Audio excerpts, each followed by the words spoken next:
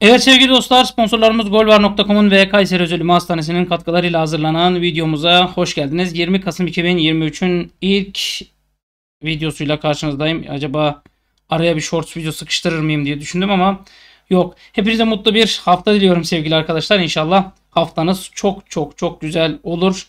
Çok çok güzel bir hafta ile e, açılışı yaparsınız. Haberlere geçeyim. Çok fazla uğraşmayayım. Kenan Yıldız için Fenerbahçe gerçeği. A milli takımın genç yıldızı Kenan Yıldız. Juventus'a gitmeden önce Fenerbahçe'nin kapısından döndüğü ortaya çıktı diyor. Şimdi bir şey söyleyeceğim. Beni takip edenler, bu kanalın müdavimleri bu habere hiç şaşırmamıştır. Çünkü 18 yaşındaki Kenan Juventus'a gitmeden önce Fenerbahçe ile anlaşmak üzereydi. 10 kulüpten biri Fenerbahçe'ydi.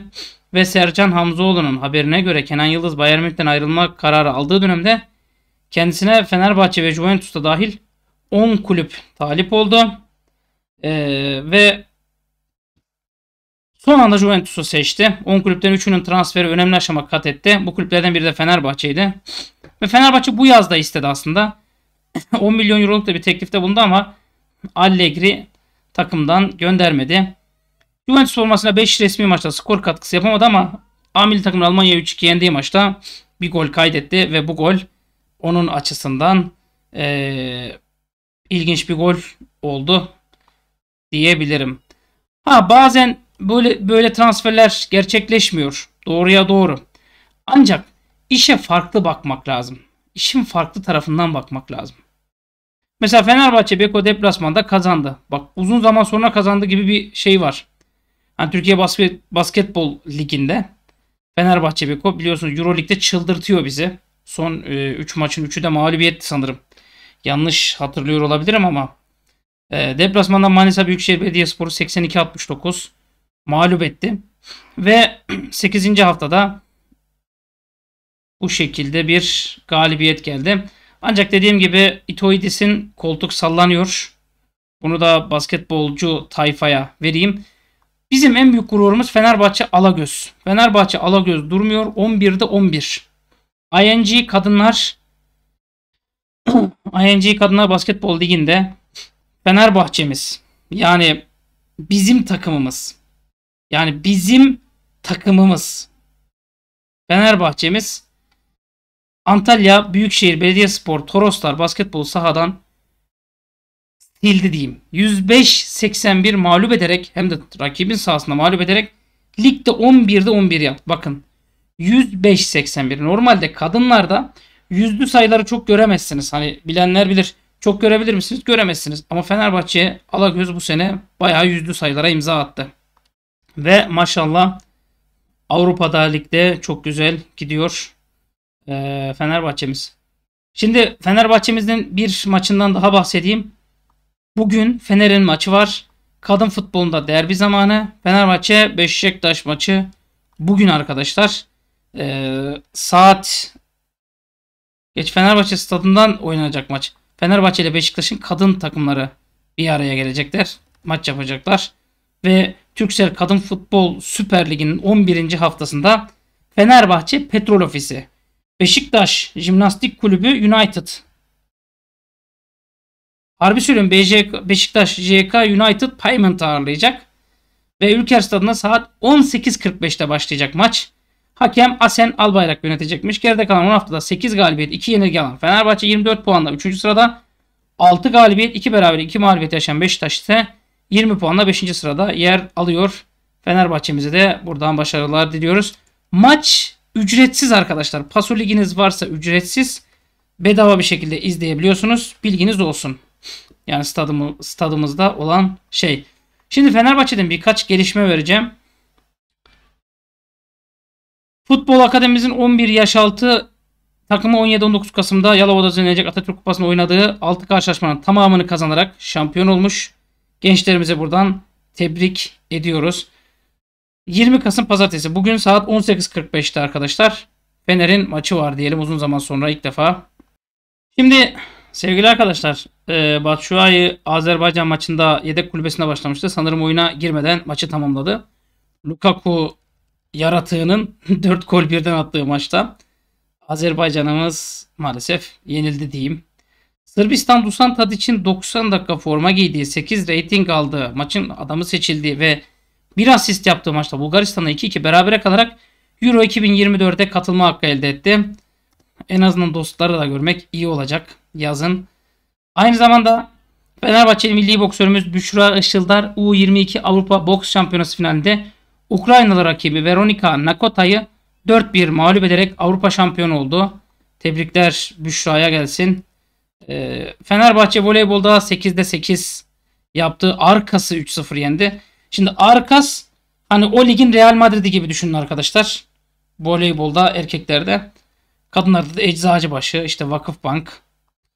Ee, bunları zaten biliyorsunuzdur. Bir spor kulübü olduğum için de olduğumuz için de bunları da belirtiyorum arkadaşlar.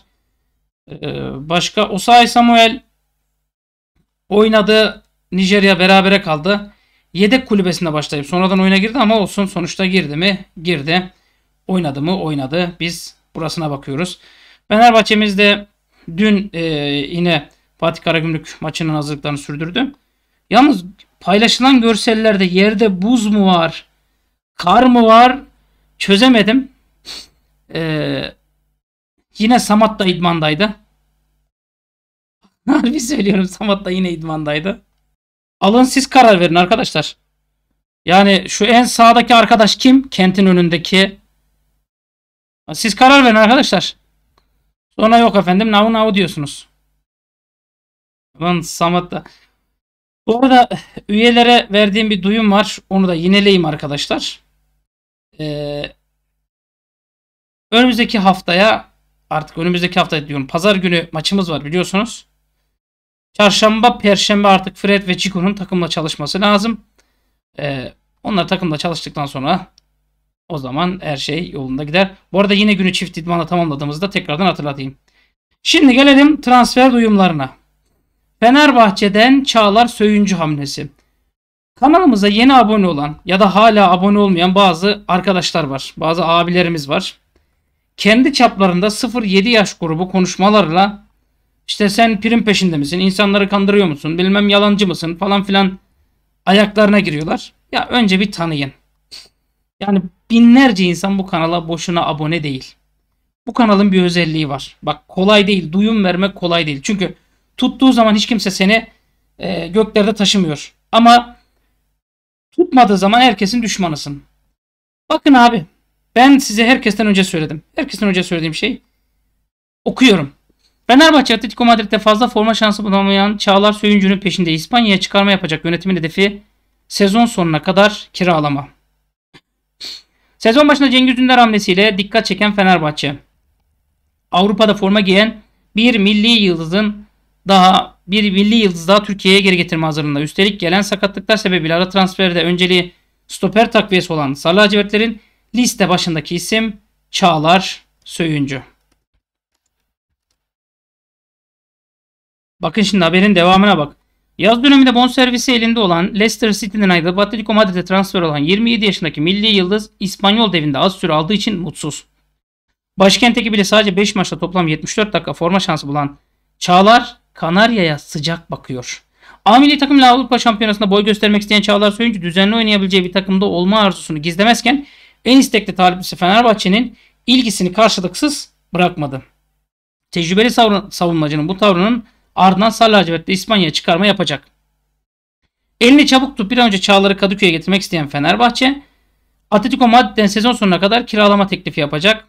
Stoper en az iki takviye düşünen Fenerbahçe'de Emirhan Topçu için Rize Spor'un kapısı çalınacak diyor. Uzun zamandır bu transferi yapmaya çalışıyorduk. Becerememiştik. Ee, yine olmayacak gibi duruyor.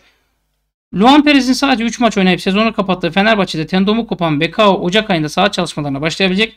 Ciku tam da bu dönemde Afrika Kupası'na gidecek. Serdar Aziz ve Samet Akaydın'a kalacak sarı lacivertler için stoper takviyesi şart.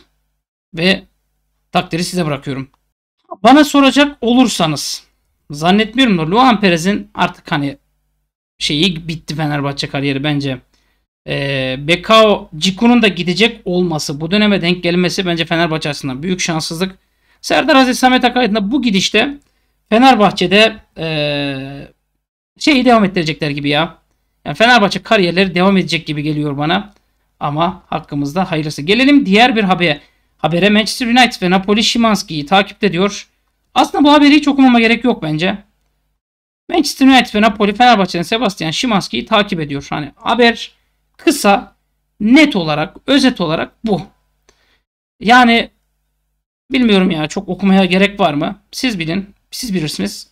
Bu arada ben Şimanski demişken aklıma bir şey geldi. Abi ee, Şimanski'nin Polonya milli takımda bir arkadaşı var. Piotrowski. Hatırladınız mı?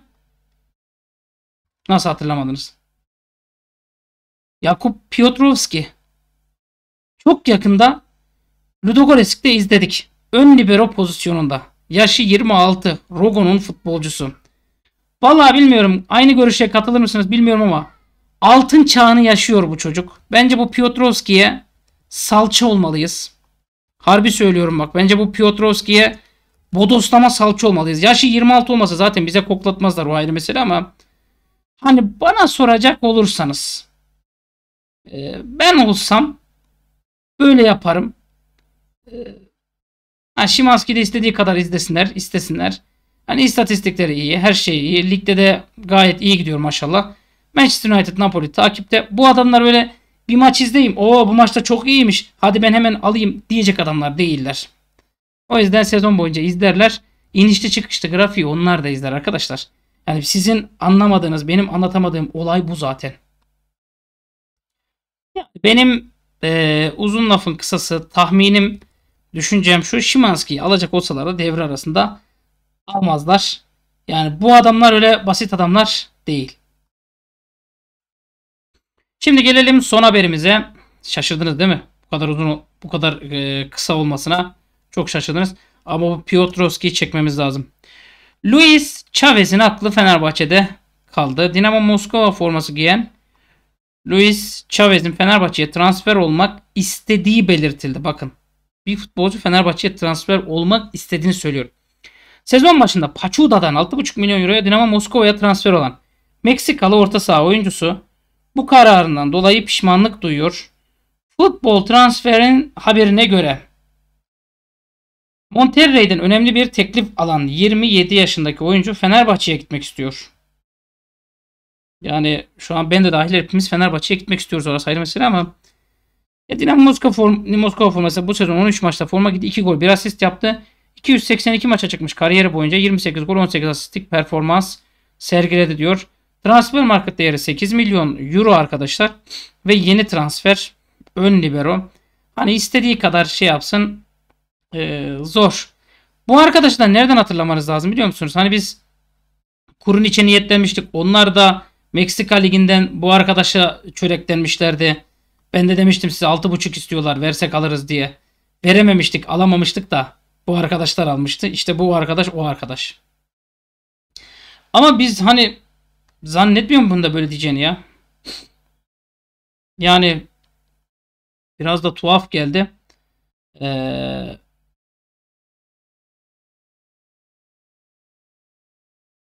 başka da hani çok söyleyeceğim de bir şey yok açıkçası. Yani Ferdi Kadıoğlu dediğim gibi sosyal medyayı paramparça etti. Ferdi Kadıoğlu birçok takımın dikkatini direkt Fenerbahçe'ye verdi. Yani Ferdi sayesinde birçok Fenerbahçeli futbolcu da teklifler alacak gibi duruyor. Onu da tekrar hatırlatayım. Biz bu videodan kısa kısa ne alacağız? Öncelikle Fenerbahçe'mizin bugün maçı var 18.45'te. Ya Fenerbahçe Saraçoğlu e, stadında ama hani maç yayını Fenerbahçe TV'den muhtemelen olur diye düşünüyorum. Yani maç yayını Fenerbahçe TV'den olmayacaksa boşuna Fenerbahçe TV var. Garip yani. Neyse biz bu videodan kısaca ne anlayacağız? Hemen onu söyleyeyim. Kenan Yıldız evet ilgilendik. Olmadı. Ya, e, şu anki kulübü sezonun başında bayağı bir para istedi arkadaşlar. Yani 20 milyon euro civarında bir para istedi. Çağlar Söyüncü için gördünüz. Duyumlar beni doğruluyor arkadaşlar. Hepiniz de şahitsiniz. Piotrowski'ye bence çökmeliyiz. Eğer Crespo'dan çıkacaksak, Zayt'tan çıkacaksak alacağımız adam net ortada. Luis Chavez beklemeyin. Emirhan Topçu ilgimiz var. Doğruya doğru. Şimanski sezon sonu ancak gider. Ee, Beşiktaş'ta maçımızın olduğunu söyledim. Michi Batshuayi. Batshuayi ben Fenerbahçe'de geleceğini görmüyorum açıkçası. Dusan Tadic dedik. Bu arada bir kez daha yazayım ya. Hani Belçika, Azerbaycan belki ben kaçırmışımdır. Yani belki de ben kaçırmışımdır. Ee, Belçika, Azerbaycan'ın Lukaku 4 kaç 5-0 bitmiş. Bir de burada oyuna girip girmediği yazıyor mu? Sanırım girmedi ya. Ben girmedi diye hatırlıyorum ama evet oyuna girmemiş arkadaşlar. Batshuayi oyuna girmemiş. Aynen dediğim gibi. Tadic'in Batshuayi'nin falan maçları bitti diye biliyorum. O sahinin en azından Fenerbahçe'ye dönüp daha rahat bir şekilde hazırlanabilirler. Hepinize teşekkürlerimi sunuyorum. Görüşmek üzere.